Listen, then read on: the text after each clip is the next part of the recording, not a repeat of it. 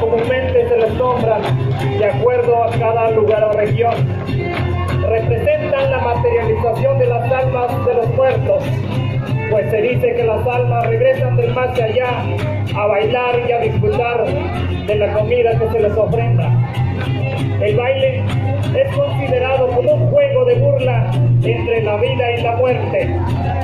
Aunque sus rasgos originales trascienden de tiempo atrás, que aluden al sintetismo de la costumbre autóctona de los pueblos agrícolas y la religión católica. La comparsa está integrada por personajes que reflejan la cultura indígena, plasmada en las consideraciones del pueblo, destacando como tal el cole viejo, representa el conocimiento y sabiduría, por tal motivo es el que guía la comparsa. El cole es el dirigente del grupo y el encargado de pedir permiso a los caseros para entrar al hogar mediante informaciones en la lengua náhuatl. Este personaje lleva las manos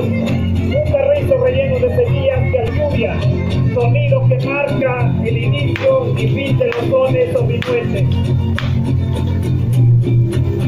También tenemos a la vieja, personaje que era la heredad adulta que trabajan y labran la tierra.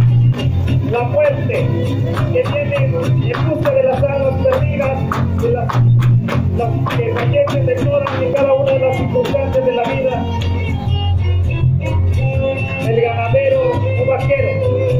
por su arrogancia se caracteriza dada nuestra región, es considerada por parte imprescindible de nuestras comparsas.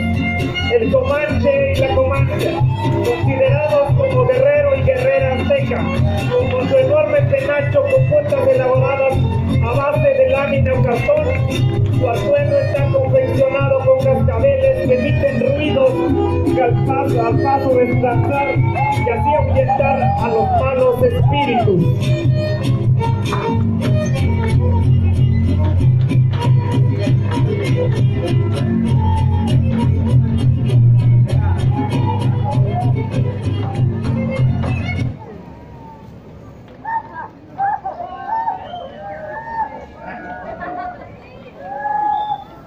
Los matlachines de Tempoal.